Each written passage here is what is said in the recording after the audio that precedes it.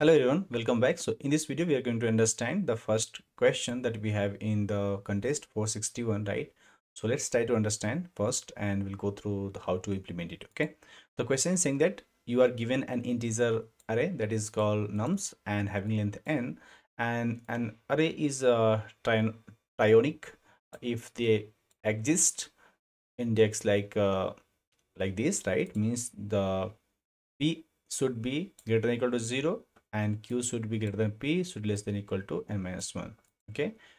So it is saying from 0 to p is strictly increasing from p to q is a strictly increasing uh, decreasing and uh, q to n minus 1 is strictly increasing okay? So this is called trionic okay? And you have to return true if the nums nums that we have given is trionic otherwise return false. If you go through this example right you can see that very first we have given this one three five right?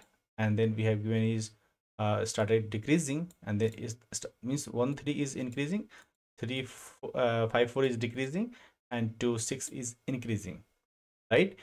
What we need to do? What is try uh, trionic? Means the very first we need to split this array into three parts. Let's see how. So let's think that we have given this array and we can represent this array into 1 3 5 4 2 6 okay? So if we'll this element will look like how? Like this.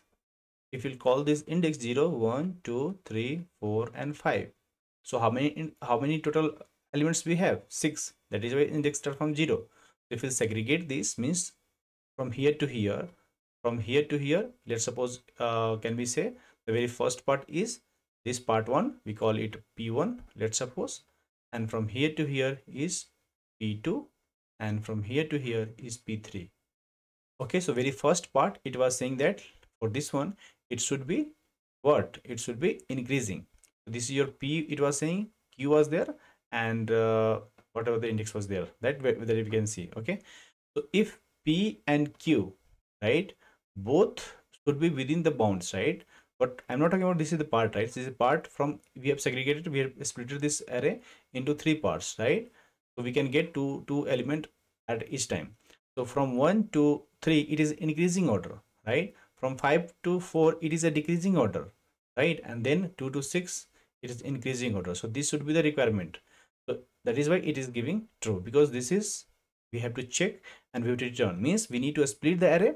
The given array should be split it into three parts right? Using the two indexes right? The indices would be what? P and q okay? In such a way that we can divide this array into three parts okay? All all these parts should be uh, in the increasing form as you can see here increasing decreasing increasing right?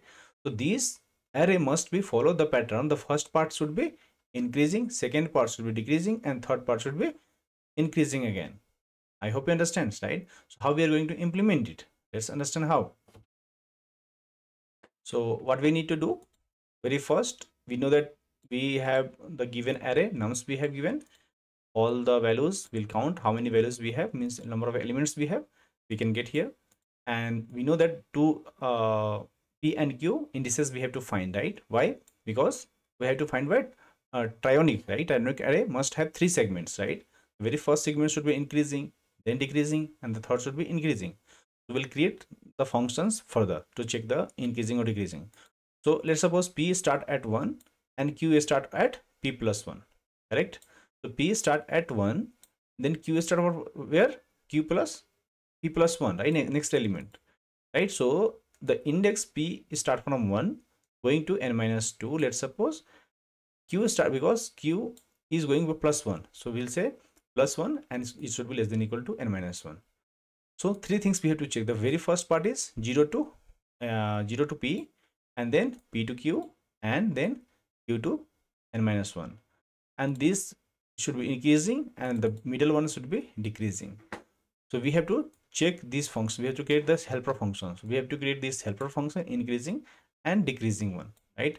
To in for increasing we just need we will start from index 0 uh, you can say from the start and end right? Not the zero we can say. And we'll keep checking the adjacent value. If it is greater than equal to means it is false. If the current element is greater than the next element okay it is false. Otherwise true. And similarly the opposite is decreasing. So if all this is coming true will return is true. Otherwise will return false so when it returns true means it's a trionic array. Okay? I hope you understand. Let's see. At the uh, another questions. And uh, give a thumbs up. Like this video if you like this right? And i'll see you in the next one